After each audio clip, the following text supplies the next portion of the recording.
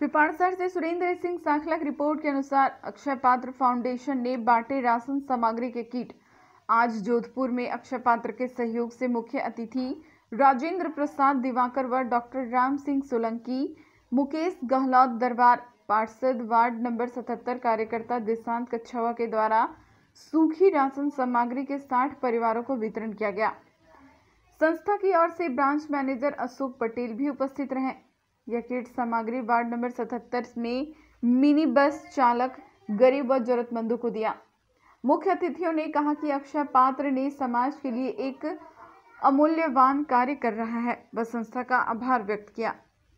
अक्षय पात्र के वितरण विभाग के सुपरवाइजर श्रवण व दिनेश ने बताया कि अभी तक अक्षय पात्र द्वारा सैतालीस हज़ार लोगों को भोजन पैकेट व 1500 किट विभिन्न वार्ड व अन्य स्थानों में वितरण किए।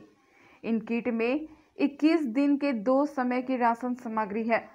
इन किट में पाँच किलो आटा, दो किलो दाल, दो किलो चावल, एक किलो चीनी, एक किलो चना, एक किलो तेल एवं समस्त मसाले हैं। इस कीटों में लगभग तिरसठ हज़ार से अधिक लोगों का खाना बन सकता है।